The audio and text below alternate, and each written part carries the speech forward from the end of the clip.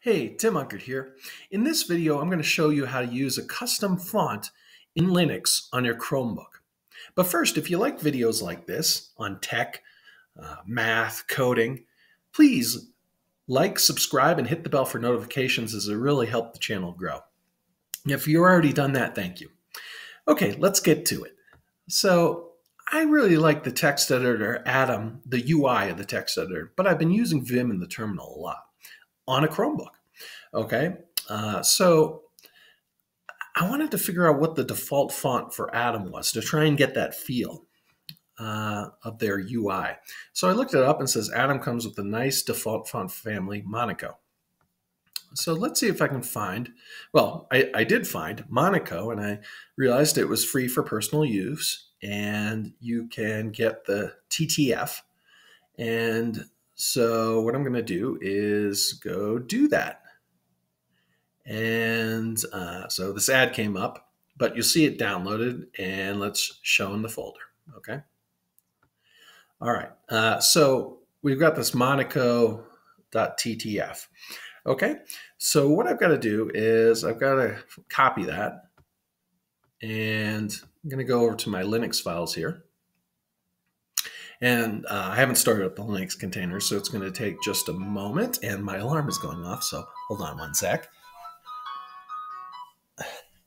Well, that's done. Uh, I got up a little earlier than expected.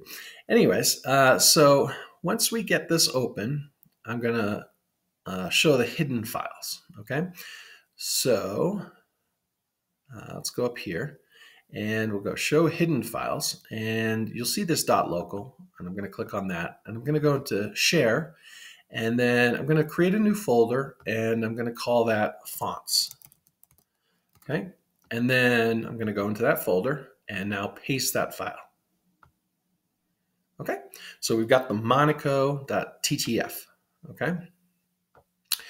Uh, now what I can do is open up my terminal and I want to go into Kitty here because I'm using Kitty. So I have a, a, bash alias shortcut, which is basically this command. It's vim.config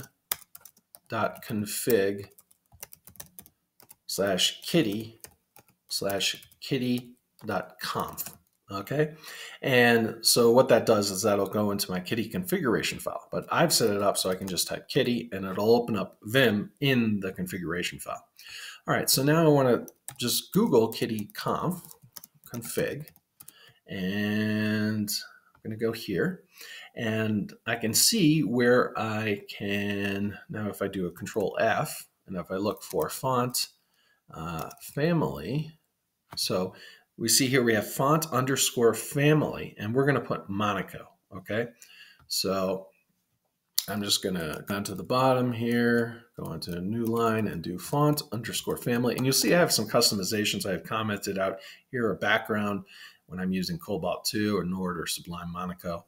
Uh, so we're going to say font family up, Sublime Monaco, Monaco, and we're going to save that and quit and take stock of the font and now we'll exit out and we'll start back up. And you'll see the font is slightly different okay? So now if I go into Vim um, and let's find I don't know my Vim RC you'll see that the font is slightly different. It's kind of like um, uh, it's kind of like uh, Atom's font because I'm using the Monaco font okay? And you notice the kitty didn't throw up any ears. It noticed the font was there. And maybe you guys don't notice on the screen, but if you want to use your custom font, you can do that.